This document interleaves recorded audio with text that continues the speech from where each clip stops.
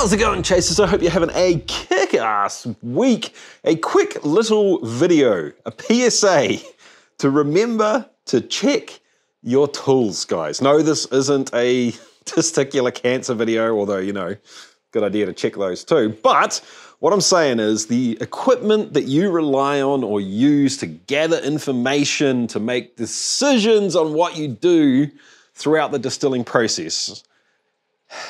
It's awesome to have it, but you kind of need to use a little bit of common sense and kind of fact check the data that you're getting from these things. Because three things have gone wrong today that led to this impromptu video being recorded. So let me lay the, uh, the groundwork for this video. Give you an insight into my headspace at the moment. First of all, I'm running the still over there. I'm making a fruit brandy, and that's not something I do that often. So I kind of feel uh, a little bit unsure of what's happening over there, although it's going well. Uh, behind me, I'm doing a mash as well. I'm pretty used to mashing stuff, so I'm not so worried about that. Uh, but I'm doing a third thing as well. I'm also recording talky bits for a different video. So my head's kind of, a lot of my bandwidth at the moment is going towards kind of writing a script as I'm talking about it, if that makes sense. First up, I started checking uh, where heads versus hearts were going to come in on the brandy. And I was doing it by taste, but I thought, you know what, I'm not, I'm not so used to making cuts for a brandy. So I decided to quickly check the ABV with a alcohol refractometer. This said it was over 80%. And I thought, eh, maybe, maybe it's still over 80%. But you know what? I'll check with a hydrometer as well because these things are notoriously inaccurate, especially at higher ABVs. This one said 93%. I thought, okay, well, it must be 93% waited for a little while, and decided, you know what, it is totally hearts. I'm going to make the hearts cut right now. Great. Now I'm starting to think about when the tails is coming. So I take this and check it again, and it says 80%. That's strange. It surely, surely, in a pot still run, hours later, it cannot be above 80%. So we'll go back to this guy. 78%. Okay, maybe. Yeah, it still seems a little bit high, but sure. It turns out this thing, I guess I dropped it too many times or something, it's just completely and utterly wrong. It reads 0% for water, great, so I can't really calibrate it. But anything over about 15% alcohol, it just reads 80% or over now, which is bizarre. So I threw this away and went back to using this. And after using this a few more times, I finally realized look at that. Yeah, that's alcohol that is inside the hydrometer. And it turns out there's a tiny little hairline crack on the bottom here, rendering this thing completely and utterly useless. My senses, what I was tasting off the still, was telling me there's no way it's still 75%. My taste was telling me that I was in hearts when I was worrying about that, and my taste is starting to tell me that I should be thinking about looking for tails soon. But the instruments were telling me I was probably wrong. Thankfully, I have a second uh, alchemeter, alcohol-tuned hydrometer, whatever you want to call this thing. And this thing is uh, aligning with what my senses are telling me, so don't worry, the uh, distillation's still on track. So that's two of the things that went wrong. Let's talk about uh, the mash.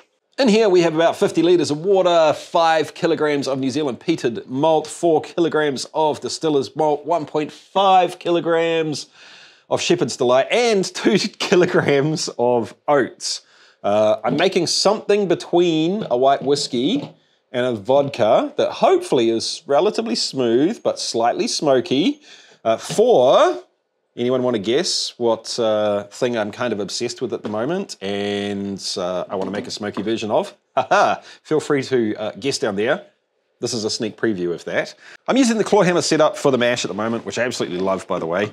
Uh, and using the handy dandy little, can you see that? Controller that lets me set the temperature and pretty much forget about it, which is great. So I set it at 65 degrees Celsius, mashed in, let it do its thing. Bob's your uncle, happy as, came back and had a look at it about half an hour later, and something just didn't look right. It didn't look like a mash should look. It just kind of looked like murky water. I started stressing about it a little bit, gave it a stir, and realized that it didn't feel quite right. Didn't feel hot enough to me. So after that debacle with the hydrometers, the first thing I did is went and grabbed the uh, thermometer that I trust the most in the house, which is the one I use for cooking.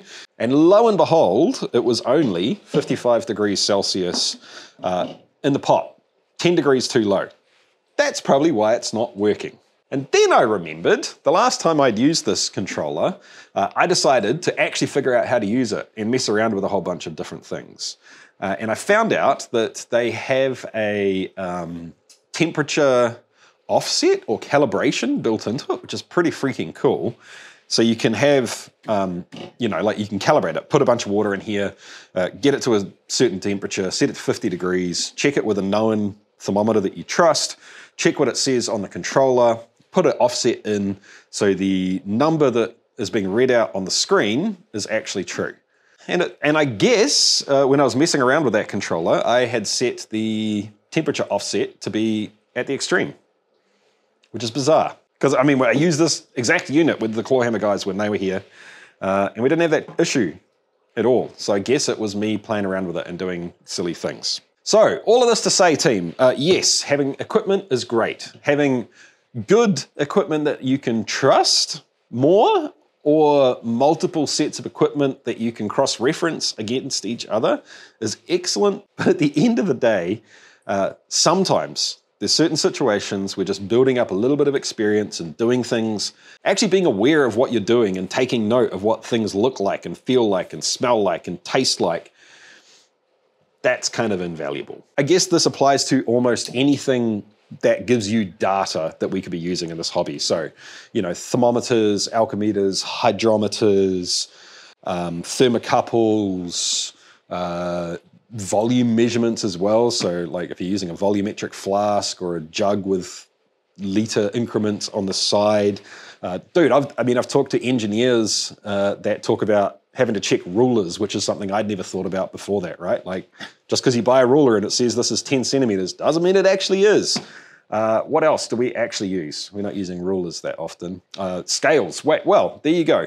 Uh, my daughter and I, uh, I've just helped her build her second Pinewood Derby car. I helped her last year and we got disqualified because we kept coming flying off the tracks. By the way, go the fishy, and uh, Aria took first place She's uh, doing nationals in a little while.